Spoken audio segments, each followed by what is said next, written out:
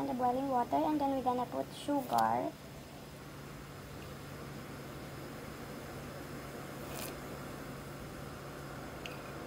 We're gonna put 5 teaspoons. So there's 3, 4, and 5. Then, haluin lang natin yung asukal para matunaw. Haluin natin ng mabuti.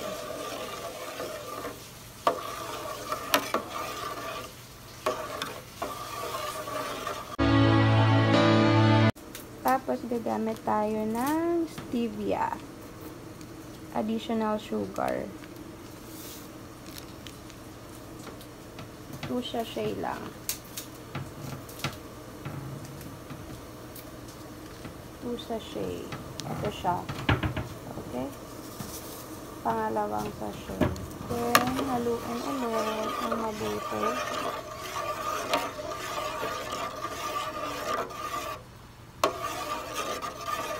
Tapos, gagamit tayo ng Thai milk tea. Okay? Tapos, ito siya. Ito. Okay? Lagay lang natin siya. 1, 2, 3, 4, 5 bag. Okay?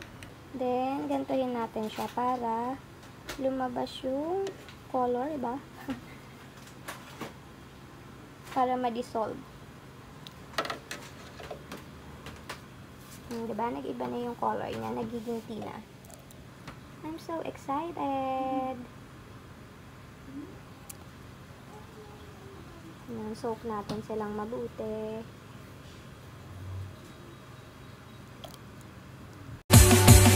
Gantuhin lang natin siya hanggang maging dark. Soak natin ng mabuti. Ito din yung mga ginagamit sa mga uh, milk tea sa Thailand. Yung mga chadam yen, nilalagyan lang ng condensed milk.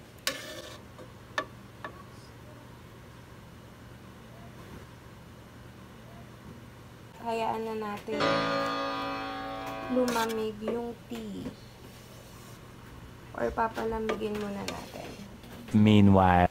So guys, ito yung ingredients sa gagawin nating DIY milk tea. Meron tayong um, Alaska evaporated. And then merong sweetened condensed milk or creamer. Tapos merong gulaman. Merong lalagyanan ng milk tea. Tapos merong bottle for extra na tea. Okay?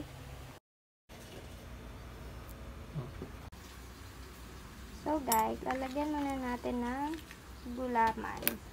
Or pwede din sago, but ngayon gusto ko lagyan ng gulaman. Depende kung anong sizes ang gusto nyo. Or kung anong gusto nyo ilagay.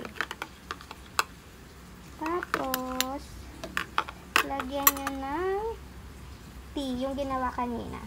Yan. Okay. Sa akin, gato lang karami yung ilalagay ko.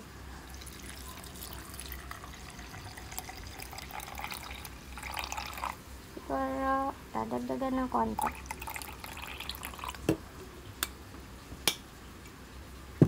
Tapos, lagyan ng evaporator. Tansyahin nyo na lang sa gusto nyo.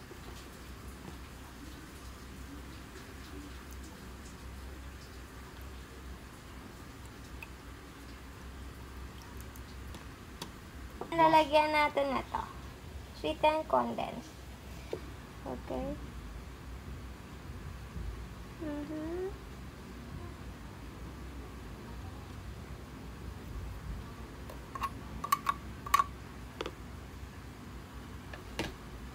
Then, haluin natin.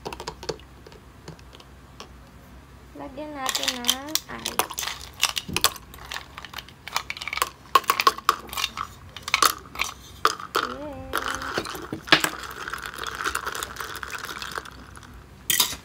Tapos na yung milk tea.